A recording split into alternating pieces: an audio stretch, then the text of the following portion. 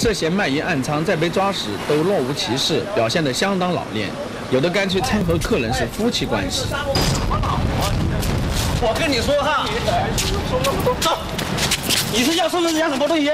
我跟你们讲，你凭什么抓人？出去找，我今天都不找，我凭什么找？哦，我去看病啊。我们可以说一下吗？啊。哎呀，我的妈呀，我舌下，哎呀，打病了，打打你。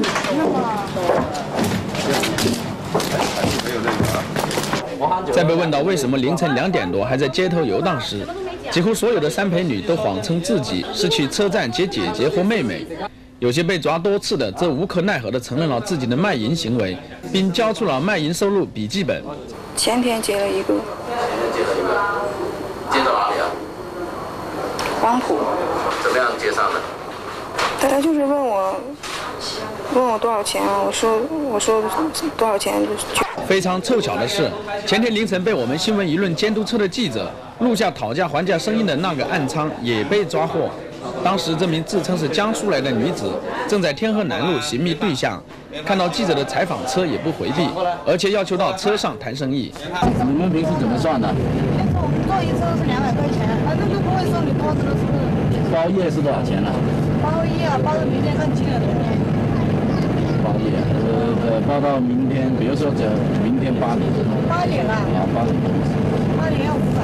今天这名女子对自己的卖淫行为供认不讳。你没看到是电视台采访车？我不能是这么。你那天在那天讲讲的。重复什么？你都录音下来了，还用重复啊？重复还不是这样的。据悉，天河警方经常出动警力开展扫黄行动，但为什么这样一些明目张胆的色情活动扫而不除呢？这无疑是发人深思的。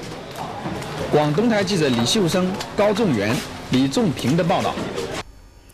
连日来，本台新闻节目披露了广州市天河东路一带三陪女活动猖獗的丑陋现象，引起了广大群众的强烈反响。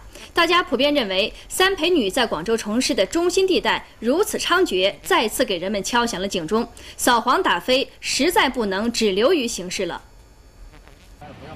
扫黄打非的口号几乎天天在喊，而广州市天河东路一带是羊城的黄金地段，也是广州的一个窗口，代表了都市的文明形象。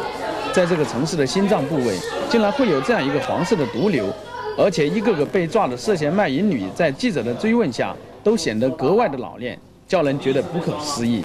不是我过来找朋友，找朋友我就过那边去烤。不是烧烧夜烤吗？嗯，就是烤烤了两个那个玉米吃吗？在那里吃，我在那里等他吗？我们从那里走过。刚刚下的士，是啊。你问我那么晚上出来干嘛？现在加一飞出来跟朋友玩吗？不认识，就是在烧烤那里跟我说了几句话，一天嘛，说什么？聊天，还还说了些什么？刚认识。我们这里有亲戚啊，我跟你说，大伙子，我们是做过来做做服装的，我们是旅游的，干嘛？三陪女之所以能在这里明目张胆的进行色情交易，当然首先是因为这里给他们提供了温床。做这行是被迫还是自愿啊？自愿的。知道公安会认庄吗？知道。知道，知道还出来？就为了赚钱吗？一个月最少的都有三四次吧，这个大的行动，小的都有，都经常展开的。像你们辖区内是不是这个暗藏活动很频繁？呃，都算比较突出吧，在我们这个区。暗娼这么多，你们平时知道这个现象吗？呃，都知道的，我们都一直都在搞这些行动。毋庸置疑的是，只有有关部门切实行动起来，不是流于形式，追根溯源，真正从老百姓的利益出发，而不是罚款了事，这样才能把黄货扫除干净。广东台记者李秀生、高仲元的报道。今天晚上，广东省富城。